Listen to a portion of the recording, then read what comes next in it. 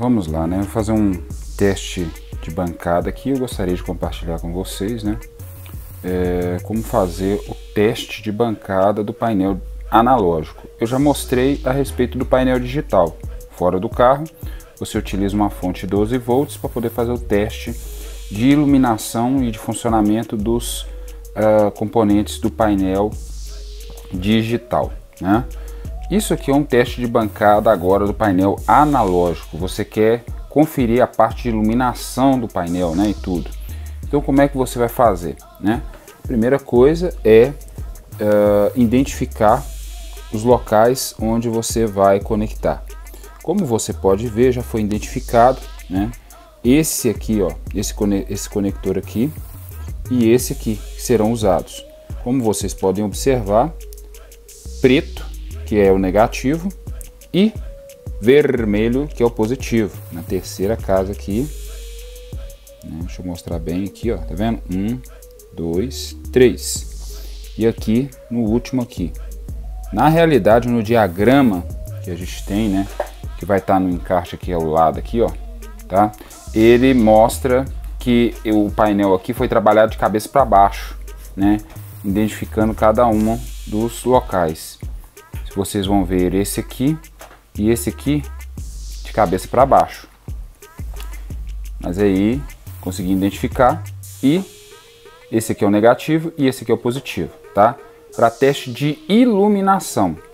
Não recomendo, prestem bem atenção, não recomendo você ir ticando em cada trilha aqui porque tem uh, sinais positivos e sinais negativos. Se você for testando dessa forma, por exemplo, pegar o positivo e ir testando em cada uma das casas, você pode causar um curto na sua placa e queimar, tá? Algum componente aqui dessa, dessa parte aqui é, do seu painel. Porque tem algumas trilhas que são conjugadas, né? Algumas trilhas são conjugadas aqui, passam nessa parte de cima, são conjugadas aqui embaixo, igual por exemplo aqui, ó. Aqui tem uma conjugação, ó. É utilizado nessa lâmpada, pega essa trilha aqui, ó, e vai seguindo para cá. Então ela é conjugada, então corre o risco de você fazendo o teste assim queimar algum componente. Então não faça isso, em hipótese alguma. Se você não tem certeza das ligações, não faça o teste é, para não correr o risco de queimar o seu painel. Então positivo e negativo, beleza? Agora eu vou virar ele ah, para mim, né, para mostrar para vocês o funcionamento dele, porque eu vou estar tá testando as lâmpadas desse painel analógico aqui do Cláudio, beleza? Eu estou fazendo um reparo nele e aproveitar e fazer esse reparo aqui também, ó, mostrar para vocês como é que pode ser feito esse reparo. Tá vendo que essa trilha foi rompida? Então isso aqui vai impedir o bom funcionamento dele aqui na parte de cima a trilha aqui foi rompida. Aí eu vou fazer o reparo dela e mostrar para vocês como é que deve ficar, ok? Vou virar ele aqui só para poder fazer uma pequena demonstração de que, do funcionamento dele. Então vamos lá, né? É, como vocês já podem ver, a luz aqui de posição, né? Quando o farolete está ligado, já está acesa. Essa parte, vou depois desligar a luz aqui para mostrar para vocês a iluminação. Como vocês podem observar, é um painel de um 16 válvulas. O tipo dele depois vai ser apresentado para vocês aí. É um, um projetinho que ele está brincando. É uma brincadeira dele aí que está fazendo. Então, aqui como vocês podem observar, a luz de posição já está acesa. Lembrando que a minha recomendação é você utilizar uma fonte de computador, porque ela tem um sistema de segurança que ela desliga ao entrar em curto. Então, se encostar positivo e negativo, automaticamente ela desliga. É uma medida de segurança. Por quê? Se você utilizar uma fonte que a corrente dela é contínua e não tem um sistema de segurança como o da fonte de computador, corre o risco de você uh, queimar o componente aqui ou até mesmo danificar a sua fonte, né? Uh, então o que, que acontece? Aqui eu estou utilizando uma fonte de 12 volts, então vocês vão fazer a conexão conforme eu mostrei na parte de trás, né? nos dois conectores lá, positivo e negativo. E agora eu vou apagar a luz aqui para poder mostrar para vocês a iluminação né, o exemplo da iluminação. Que eu estou fazendo um teste aqui, que eu estou eliminando uma fita de LED para usar, utilizar lâmpadas de LED, né? E uma opinião particular e uma recomendação. A fita de LED, com o passar do tempo, ela danifica a, essa parte de cima aqui do, do painel, tanto aqui quanto aqui, ó. E eu vou mostrar para vocês como inicialmente a, a fita de LED já estava ficando. Então essa aqui é a fita de LED que estava no carro dele, né? E inicialmente ela começa a ficar com esse tom amarelado. Ela é branca, né? Esse gel que fica aqui em cima dela e ela vai tendenciando para o tom amarelado. E aqui, ó, se você observar bem no chip, bem aqui, ó, tá já danificando até mesmo esse silicone que fica em cima da, do, do, do, do, LED. Tá vendo como é que tá danificado aqui? Então, isso aqui com o passar do tempo vai estragar o seu painel, tá? Por quê? Na, na com uma fita de LED no painel, não tem uma dissipação de calor adequada. Então, consequentemente, acaba danificando seu painel. Ah, mas eu já tenho anos que está no meu carro. Tá, mas depois que você instalou e esse tempo que ele está lá, você alguma vez tirou ele? Beleza, primeiro ponto. Segundo, é a experiência que eu tive, né, que eu estou compartilhando com vocês. Eu coloquei fita de LED, com o passar do tempo, ela começou a danificar meu painel e aí eu pude ver que não, não é, é vantajoso ter uma fita de LED no painel. Então eu comecei a utilizar as lâmpadas de LED e aí eu vou mostrar qual que foi o melhor resultado que eu tive até hoje, né? E, e um outro detalhe é que não somente eu, mas inclusive até o Rodrigo também que eu fiz a instalação do painel digital no carro dele, ele utilizou fita de LED, aliás, ele comprou o carro com fita de LED no painel. Quando ele tirou para poder olhar, porque não estava acendendo, estava totalmente danificado. Ele foi obrigado a comprar um outro painel, porque justamente o painel dele tinha danificado muito nessa parte de cima, tinha derretido. Então ele foi obrigado a comprar um novo painel completo para poder trocar no carro dele. Então fica essa dica. Sugestão: é melhor colocar uma lâmpada de LED de boa qualidade do que uma fita de LED. Inclusive eu sugeri para o Cláudio para a gente tirar essa fita de LED, né? Por justamente é, preocupação de você andar constantemente com o farol aceso e danificar precocemente o seu painel aí, beleza? Fica essa dica, uma sugestão. Você não é obrigado, ah, vai estar muito tempo no meu carro, tudo bem, né? É, fica a seu critério. Beleza? É só uma, só uma dica aí de preocupação de você é, não danificar e ter tomar um prejuízo de ter que comprar um painel para poder substituir o seu. Então a iluminação aqui no painel tá desse jeito aqui, ó, como vocês podem observar, tá vendo? Ainda vai melhorar ainda, só estou fazendo um teste de bancada, como eu mencionei, tá? Aqui, tá vendo? Na parte de cima do check control essa luz aqui é halogênea e essa aqui é de LED verde. Só que o Cláudio optou pelas LED branca. Então a gente vai comprar elas para poder colocar aqui no painel. Essa parte, como eu mencionei, não está ainda iluminada, né? Por conta daquela, daquela, daquela ruptura na trilha. Mas eu vou reparar ela e daqui a pouco vocês vão ver como é que vai ficar.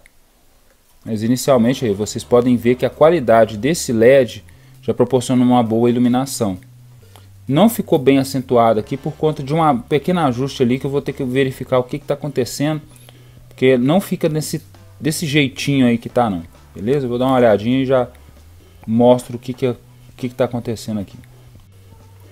Então, vamos lá, né? Vou compartilhar com vocês a respeito da solda, que é um negocinho bem chato de fazer, né?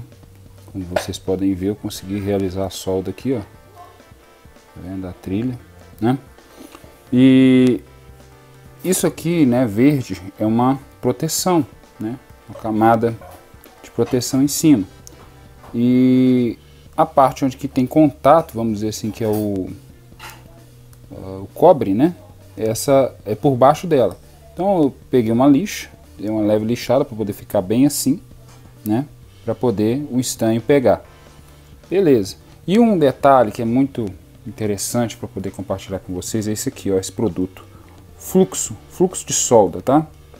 Aí o que que acontece? Esse fluxo de solda aqui, ele auxilia muito, muito esse líquido. Pastoso ajuda? Ajuda, mas esse líquido é, deu uns resultados muito interessantes para realizar a solda. Tá? Um outro detalhe que eu queria mostrar para vocês, essa solda aqui, deixa eu ver, cadê, cadê, cadê a especificação dela? Essa aqui é fluxo RA, tá vendo? Tem um outro, deixa eu pegar aqui na caixa. Esse aqui é fluxo AA, tá? Tem uma, ele, ele tem uma dificuldadezinha de pegar que não é brincadeira, não sei o porquê. Eu ainda vou aprender a usar ele adequadamente. Mas vamos dizer assim que proporciona assim uma, uma facilidade maior, principalmente para quem não é um profissional da área, é esse fluxo RA. Ele é mais fácil de manusear do que esse AA. Eu já vi algumas superfícies já com ele, porque quando eu fui para poder desoldar, tirar a solda, eu pude perceber que é o mesmo material desse aqui. Isso aqui vai ser um... É melhor você pesquisar aí técnicos né, de, de eletrônica para poder explicar a respeito da diferença entre o RA e o AA, beleza? Mas aqui voltando, tá? Tava rompida essa trilha, agora já está soldada e agora eu vou proceder agora com o teste da iluminação aqui da parte de cima e mostrar para vocês. Lembrando a respeito da ligação, nesse conector aqui, vocês veem que são três, nesse aqui na terceira casa da esquerda para a direita e esse aqui da o primeiro, né, da direita para a esquerda, ok? Então, vou terminar de montar aqui, isso aqui sai, se você for trocar somente essa parte, tá vendo? Ela sai. E aí eu vou proceder com a continuação aqui do, da instalação para poder fazer o teste aqui do, da iluminação agora dessa parte, beleza? Então vamos lá, mostrando como é que ficou o resultado, né? Aqui deu uma pequena diferença, esse lado de cá, eu vou mostrar porque a lâmpada, né? A maneira que ela está refletindo aqui em cima que está causando esse efeito, tá vendo? Se virar ela, aí ela... Eu vou tentar corrigir isso aqui, coisa mínima. Mas como vocês podem ver, olha que bacana a iluminação. Ficou bacana. Essa parte está muito apagadinha porque está usando lâmpada halogênia. A halogênia é muito fraquinha. Mas onde que está usando um LED verde, olha como é que destaca um pouco mais, tá vendo? Essa parte aqui está usando um LED verde, que é o mesmo que aqui. E aqui a halogênia também, tá vendo como é que está amarelado aqui em cima? Na parte de cima está amarelado. Mas como vocês puderam ver, dá outra cara, né?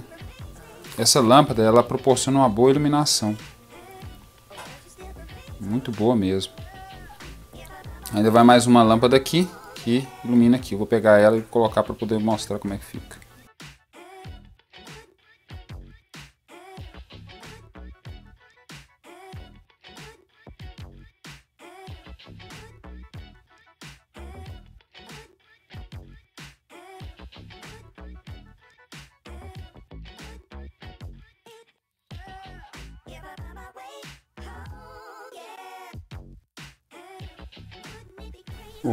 Roberto do clube Tipo SP de São Paulo perguntou a respeito desse adesivo aqui. O que, que acontece? É, o proprietário, o dono né, do painel, proprietário é aquele que usa e dono é aquele que cuida. O dono do carro aqui, o Cláudio, né, é, ele mandou fazer esse adesivo personalizado, conforme vocês podem observar, para poder colocar no painel dele. Por que é um adesivo. Se vocês observarem um pouquinho aqui ó, abaixo do 40, tem um relevo aqui embaixo, ó, tá vendo? Tem um pequeno relevo que é o, vamos dizer assim, a numeração original que está aqui por baixo. Então, isso aqui é um adesivo que ele mandou, vamos dizer assim, fazer de acordo com a personalização que ele queria fazer no painel. Isso aqui, se eu não me engano, é tinta, tá bom? Aí ele, vamos dizer assim, desmontou e fez todo esse trabalho aqui que vocês estão vendo. Aí isso aqui eu já não posso dizer como foi feito, tá bom? Aí a, o que eu estou deixando de dica é o teste da parte de iluminação aí do painel, beleza? Não deixe de deixar o seu like básico, compartilhar nas suas redes sociais e vamos para os próximos vídeos. Para complementar uh, o efeito dessa iluminação aqui, uh, foi bom eu ter mandado nos grupos para poder o pessoal fazer as perguntas e eu conseguir complementar o vídeo e deixar tudo bem explicado. Para poder ter esse resultado aqui, eu utilizo um adesivo, tá vendo? Um adesivo cromado, tá vendo como é que ele é? Ó? Então o que que acontece? Ele bate aqui na parte, como vocês podem ver, de todo o complemento do, do dessa, desse suporte, né? E proporciona essa iluminação forte aí, ó, que vocês estão vendo. Então você tem que desmontar tudo. Desmontar essa parte que fica aqui em cima.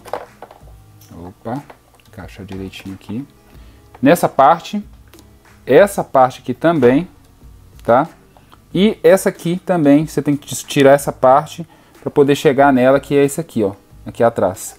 Você tirando tudo, você consegue chegar nas lâmpadas aqui para poder conseguir esse bom resultado. Lembrando que a lâmpada que eu estou utilizando é essa aqui, ó. Essa aqui de três LEDs. Que você encontra no Mercado Livre, tá? Aí, ó. É a melhor lâmpada que eu tenho para indicar. Essa aqui, ela tem a tonalidade verde, mas o Cláudio pediu para colocar no dele branco. E aí depois eu vou mostrar como é que ficou o resultado da tonalidade branca, beleza? Mas essa lâmpada aqui, caso fique maior, né, do que você queria, tá vendo esses três furinhos aqui? Você pode optar por cortar ela, tá? Corta no, na direção do furinho. Eu, essas que estão aqui no painel, elas foram cortadas no segundo furinho, né, de lá para cá. Foi cortada no segundo furinho. Aí elas ficam um pouquinho mais curtas e aí encaixa melhor e proporciona é, essa, esse equilíbrio aqui na, na iluminação. Ok?